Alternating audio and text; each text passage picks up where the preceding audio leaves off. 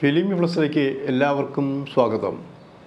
മലയാള cinema വളരെ രസകരമായി ഹിറ്റുകളോടെ മുന്നേറിക്കൊണ്ടിരിക്കുമ്പോൾ സജീവമായ സിനിമ ചർച്ചകളും ആരംഭിച്ചു കഴിഞ്ഞിരിക്കുന്നു. കുറേ കാലമായി പക്ഷങ്ങളില്ലാതെ പോയിരുന്നൊരു കാലഘട്ടമുണ്ടായിരുന്നു.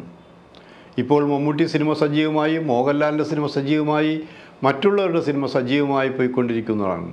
ഇപ്പോഴും ചർച്ച ചെയ്യപ്പെടുന്നത് മമ്മൂട്ടിയും മോഹൻലാലും മാത്രമാണ്. വേറെ ആരെക്കുറിച്ച് ഇങ്ങനെ സജീവമായ ചർച്ചകളില്ല. ആ അങ്ങനെ ചർച്ച ചെയ്തു വന്നപ്പോൾ മമ്മൂട്ടിയെക്കുറിച്ചാണ് ചോദിക്കുന്നത്. മമ്മൂട്ടി ഇപ്പോഴും സജീവമായി മലയാള സിനിമയിൽ നിൽക്കുന്നു. ഒരു പോറലുമേൽക്കാതെ ഒരു സിനിമ പരാജയപ്പെട്ടാൽ പോലും ആ പരാജയം മമ്മൂട്ടിയെ ബാധിക്കാത്ത രീതിയിൽ മലയാള സിനിമ പോയിക്കൊണ്ടിരിക്കുന്നു. ഇതിന്റെ രഹസ്യം എന്താണ്? സത്യത്തിൽ മമ്മൂട്ടിയെ മമ്മൂട്ടിയെ ആക്കിയത് മമ്മൂട്ടി ഒരു നല്ല നടൻ അല്ലെങ്കിൽ കലയും കച്ചടവും ഇടകലർത്തിയ സിനിമകളെ വിജയിപ്പിക്കാൻ കഴിവുള്ള നടൻ എന്ന രീതിയിലേക്ക് വന്നത് എങ്ങനെ? ഇതൊക്കെയായിരുന്നു ചർച്ചയുടെ തുടക്കം. ഓരോരുത്തരും അവരവർക്ക് ഇഷ്ടപ്പെട്ട രീതിയിൽ പറഞ്ഞു. മദ്യപിച്ചിരുന്നു കൊണ്ട് ചിലർ അവരുടെ ഭാവനകളെല്ലാം കാട് കയറി അപ്പോൾ അഭിപ്രായ വ്യത്യാസങ്ങൾ വന്നപ്പോൾ അവർ സാധാരണ രീതിയിൽ എനിക്കെന്തോ വലിയ അറിവുണ്ട് എന്ന് വിചാരിച്ച അവരൊക്കെ എന്നോട് ചോദിക്കും എന്താണ് സത്യാവസ്ഥ? എനിക്കത്ര വലിയ അറിവൊന്നുമില്ല എന്ന് എനിക്കല്ലേ അറിയുള്ളൂ. ഒരു ചപ്പടാച്ചി. എന്തെങ്കിലുമൊക്കെ കാണിച്ചുകൊണ്ട് രക്ഷപ്പെട്ടു പോരുന്നു എന്ന് മാത്രം. അപ്പോൾ അവർ എന്നോട് ചോദിച്ച ഒരു ചോദ്യമുണ്ട്.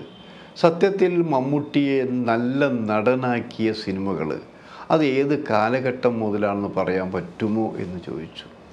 ഞാൻ പറഞ്ഞു മമ്മൂട്ടി എവിടെ തൊട്ടാലും നല്ല അഭിനയം തന്നെയാണ്.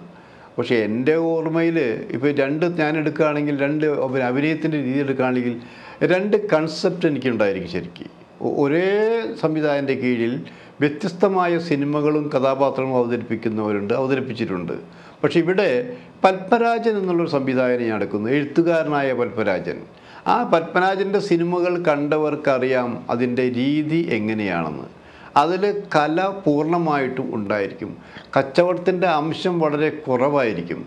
എങ്കിലും ബോക്സ് ഓഫീസ് ഹിറ്റുകൾ വന്നില്ലെങ്കിലും അദ്ദേഹത്തിന്റെ സിനിമകളെ ഇഷ്ടപ്പെടുന്ന വലിയ വിഭാഗം ഇവിടെയുണ്ടെന്ന് ആലോചിക്കണം. എന്നാൽ ഞാനിവിടെ പറയാൻ പോകുന്ന സിനിമ വെച്ചാൽ അദ്ദേഹത്തിന്റെ ഒരു ഹിറ്റ് സിനിമയെക്കുറിച്ച് തന്നെയാണ്. കൂടെവിടെ എന്നുള്ള സിനിമ മമ്മൂട്ടിയുടെ. മമ്മൂട്ടി അന്ന് അപ്പോൾ അത്രയും അത്രയും വലിയ പ്രശസ്തനൊന്നും ആയിട്ടില്ല. അപ്പോൾ കൂടെവിടെ എന്നുള്ള സിനിമയാണ് അതിൽ മമ്മൂട്ടിയുടെ പ്രകടനം. സത്യത്തിൽ പത്മരാജന്റെ നല്ല സിനിമകളിൽ ഒന്നാണത്. അതായത് കച്ചവട മൂല്യം നിറഞ്ഞ സിനിമയും തിയേറ്ററിൽ ഓടിയ അപൂർവം ചില സിനിമകളിൽ ഒന്നാണ് കൂടെവിടെ എന്ന് അറിയിക്കണം ആ കൂടെവിടെ കണ്ട് ഇഷ്ടപ്പെട്ടവർ ധാരാളം അതേ ഏകദേശം ആ സമയത്ത് തന്നെയാണ് ഇപ്പോൾ ജോഷി മമ്മൂട്ടിയുമായിട്ട് ആദ്യം കൂടിച്ചേരുന്നത് ആ രാത്രി എന്നുള്ള സിനിമ. ആ രാത്രിയെക്കുറിച്ച് പറയുമ്പോൾ അതൊരു കമേഴ്ഷ്യൽ സിനിമ. അത്രയേ ഉള്ളൂ. ആ കമേഴ്ഷ്യൽ സിനിമ സസ്പെൻസ് നിറഞ്ഞൊരു കമേഴ്ഷ്യൽ സിനിമയിലെ അഭിനയം. അപ്പോൾ മമ്മൂട്ടിയെ സംബന്ധിച്ച് മമ്മൂട്ടിയെ നടനെ സംബന്ധിച്ച് ഒരേ സമയത്ത് വ്യത്യസ്തമായ ഈ രണ്ട് സിനിമകളിൽ അഭിനയിച്ചു എന്നുള്ള വലിയ കാര്യം തന്നെയാണ്. ഒരു നടനെ വിലയിരുത്താൻ ഈ രണ്ട് സിനിമകളും ഉപകരിച്ചു. ഈ രണ്ട് സിനിമകളും മമ്മൂട്ടിയെ സംബന്ധിച്ച് ഹിറ്റ് സിനിമകളുമായിരുന്നു ആലോചിക്കണം. അങ്ങനെയാണ് മമ്മൂട്ടിയുമായിട്ടുള്ള കൂട്ടുകെട്ട് ജോഷി ആദ്യം ആരംഭിച്ചത്. ആദ്യത്തെ സിനിമയാണ് ഇരുവരും ഒരുമിച്ചുള്ള സിനിമ എന്ന് ആലോചിക്കണം. ആ സിനിമയ്ക്ക് ശേഷം പിന്നീട് കുറേ സിനിമകൾ വന്നു. സിനിമ വെച്ചാൽ ഇപ്പോൾ ജോഷിയുടെ തന്നെ എത്രയോ എത്ര സിനിമകൾ വന്നു. ഐ വി പിന്നെ ഐ വി ശശി വന്നു. അപ്പോൾ മമ്മൂട്ടി കുറേ നല്ല സംവിധായകരെ നല്ല എഴുത്തുകാരെ കിട്ടി എന്ന് ആലോചിക്കണം. അത് ഒരു ഒരു നടനെ സംബന്ധിച്ച് നമ്മൾ ഭാഗ്യം എന്ന് പറയുകയാണെങ്കിൽ മമ്മൂട്ടി ഭാഗ്യവാനാണ്. വെറും ഭാഗ്യവാനല്ല കഴിവുണ്ട് കരുത്തുണ്ട് കഷ്ടപ്പെട്ടിട്ടുണ്ട്.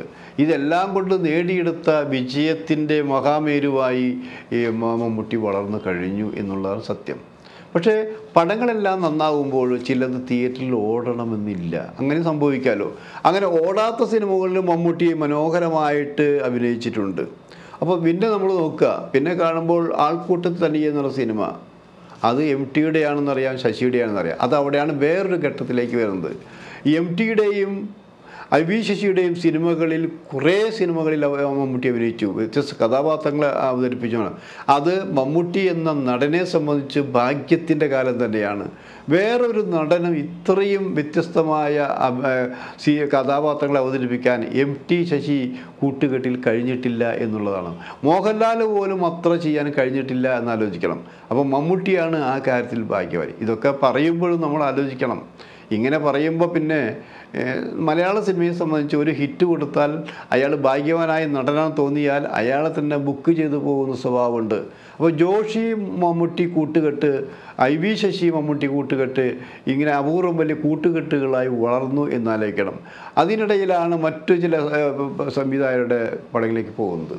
അപ്പോൾ ഇങ്ങനെ വന്നപ്പോൾ ജോഷിയുടെ തന്നെ ഒരു കുറേ നല്ല സിനിമകൾ പല ഘട്ടങ്ങളിലായി അത് റിലീസ് ചെയ്തിരുന്നെങ്കിൽ ഹിറ്റുകളായി മാറേണ്ടിയിരുന്ന നല്ല സിനിമകൾ ഒരുമിച്ച് പൊട്ടിപ്പൊളിഞ്ഞു എന്നാലോചിക്കണം ആ പൊട്ടിപ്പൊളിഞ്ഞ അവസ്ഥ മമ്മൂട്ടിക്ക് മാത്രമല്ല ഭീകര സ്വപ്നം സമ്മാനിച്ച് ജോഷി എന്നുള്ള സംവിധാനം ബാധിച്ചു നിർമ്മാതാവിനെ ബാധിച്ചു അതിന്റെ തിരക്കഥാകൃത്തിനെ ബാധിച്ചു എന്ന് ആലോചിക്കണം. അങ്ങനെയെല്ലാം ബാധിച്ചപ്പോൾ തിരക്കഥാകൃത്ത് അന്ന് ഡെന്നീസ് ജോസഫായിരുന്നു ഇപ്പോൾ ഡെന്നീസ് നമ്മളോടൊപ്പം ഇല്ല. പക്ഷേ അവരെല്ലാം ബാധിച്ചപ്പോൾ ഇനി എന്ത്? സിനിമയിൽ തന്റെ നക്ഷത്രങ്ങളെല്ലാം അസ്തമിച്ചു പോയി. ഇരുട്ട് വീണിരിക്കുന്നു. ഇനി രക്ഷപ്പെടില്ല എന്ന് വിചാരിച്ചു പോകുന്ന അവസരത്തിലാണ് ഒന്ന് രണ്ട് സിനിമകൾ അവിടെ വന്നതെന്ന് ആലോചിക്കണം. അപ്പോൾ മമ്മൂട്ടി മമ്മൂട്ടി അങ്ങനെ വീണു എണീറ്റു വീണു എണീറ്റു എന്നുള്ള ഘട്ടത്തിലാണ് ഈ തനിയാവത്തിന്റെ കാര്യം പറഞ്ഞു. തനിയാവത്തിൽ അതിമനോഹരമായി ബാലൻ എന്നുള്ള കഥാപാത്രത്തെ അവതരിപ്പിച്ചു. കണ്ണീരൊഴുക്കിയാണ് പ്രേക്ഷകർ ആ സിനിമ കണ്ടതെന്ന് ആലോചിക്കണം. അതിനിടയിലാണ് മറ്റൊരു സിനിമ വരുന്നത്. സി ബി ഐ ഡയറക്കുറിപ്പിന്റെ രംഗപ്രവേശം ആലോചിക്കണം.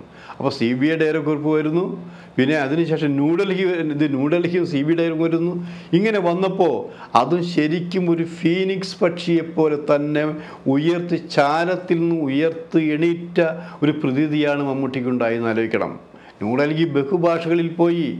അതായത് ഡൽഹിയിലെ രാഷ്ട്രീയക്കാരുടെ കള്ളത്തരങ്ങളും ചതിയുടെ വ- ഈ വഞ്ചനയുടെയും അനുഭവങ്ങളാണ് ഉണ്ടായത്. അവരെ എതിർക്കുന്ന അവരെ ഇല്ലാതാക്കുന്ന ജി കെ എന്നുള്ള കഥാപാത്രം ജി കൃഷ്ണമൂർത്തി എന്നുള്ള കഥാപാത്രത്തിന് ആരാധകരുണ്ടായി എന്നാലോചിക്കണം ജയിൽ പുള്ളികൾ പോലും ആരാധിക്കുന്ന കഥാപാത്രമായി മമ്മൂട്ടി മാറി. ബമ്പർ ഹിറ്റായി മാറി ബഹുഭാഷയിൽ വന്നു. പക്ഷേ അവിടെ തന്നെ വ്യത്യസ്തമായി നിൽക്കുന്ന ഒരു സി ബി ഐ ഡയറി കുറിപ്പാണെന്ന് ആലോചിക്കണം.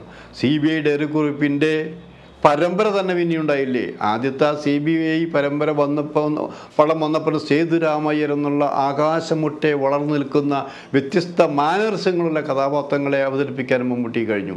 അത് മമ്മൂട്ടിയുടെ വിജയ പതാകയുടെ വിജയത്തിന്റെ ഒരറ്റ ഈ നടയാ നടന്ന യാത്ര പോകുന്ന യാത്രയുടെ വലിയ അനുഭവമായി മാറി എന്നാണ് പറയുന്നത്.